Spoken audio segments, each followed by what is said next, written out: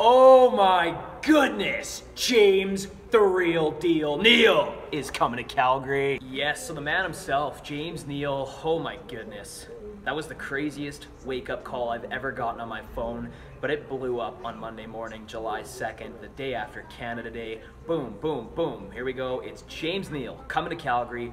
Five years, $28.75 million in total. The man's is getting And it's going to be nice to have him on that first line. We are hoping and praying that he is going to play with Johnny and Monty, and that Elias Lindholm will go to the second line. Maybe he'll play with Frolik and Backlund. I'm not too sure there, but so far so good. I mean, James Neal coming to Calgary is probably the best signing so far since John Tavares coming to the Maple Leafs this offseason.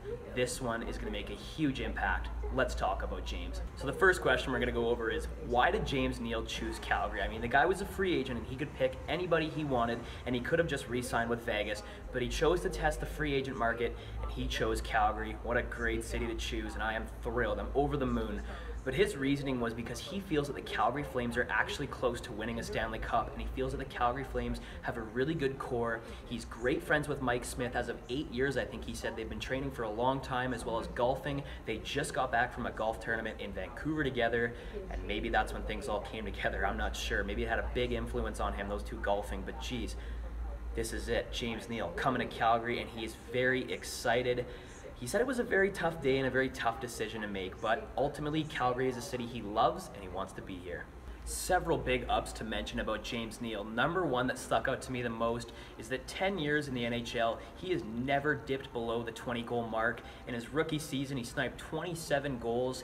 He was the first goal scorer for the Vegas Golden Knights in franchise history in their first game, and he also scored the first game winner in that first game. He had a two goal game that night. Very, very impressive. Also, another thing to note, he is young. He is 30 years old, and when the puck drops in October, he will be 31, so he's got a lot of time left and five-year deal in Calgary. Whew. You guys better be ready. This one's going to be a beauty season. Last but not least, the Whitby, Ontario native is very versatile. He can play the left or the right wing, so line juggling probably won't be an issue with Bill Peters and James Neal. He can go anywhere.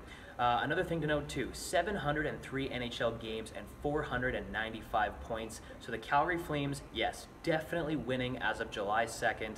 This was a very positive day for this franchise, for this city, and for this whole organization as a whole. Everybody's really pumped and jacked up to see the puck drop next year and to see some of these new talents come in and release those talents. So thank you so much for watching this video. Please stop right now and make sure you like and subscribe before leaving. But please, you're welcome back anytime, so make sure you come back next week. Come check out another video, and we will see you very soon. Peace out, guys.